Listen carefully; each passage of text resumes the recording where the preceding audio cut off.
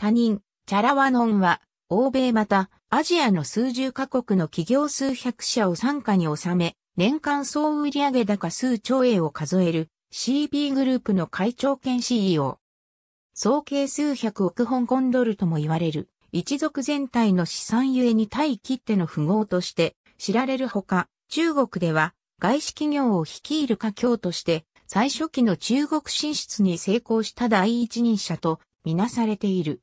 歌人として1939年にタイのバンコクで生まれる。中国及び香港で教育を受けた後、3人の兄がいたが1969年に30歳でグループ社長に指名され、父親と叔父が創業した飼料肥料貿易会社を食品のほか流通通信まで手掛ける CP グループに育て上げる。タクシン元タイ首相の経済顧問をはじめ、タイと中国において各種顧問を務める。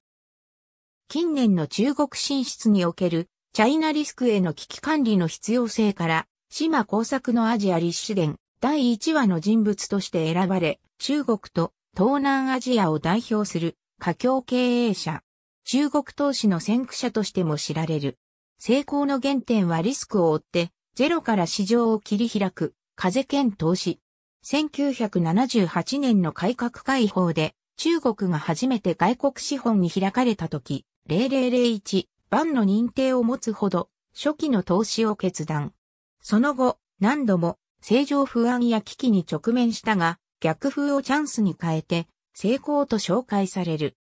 広金賢治のアジア立志伝、チャイナリスク吹き荒れる中国で、一人勝ちの CB グループ、風検討士で投資を拡大し続ける、ハイリターン経営とは？から現代ビジネス。国際交流会議、アジアの未来2002日本経済新聞。社国民マイナス100度百科。国際交流会議、アジアの未来2002日本経済新聞。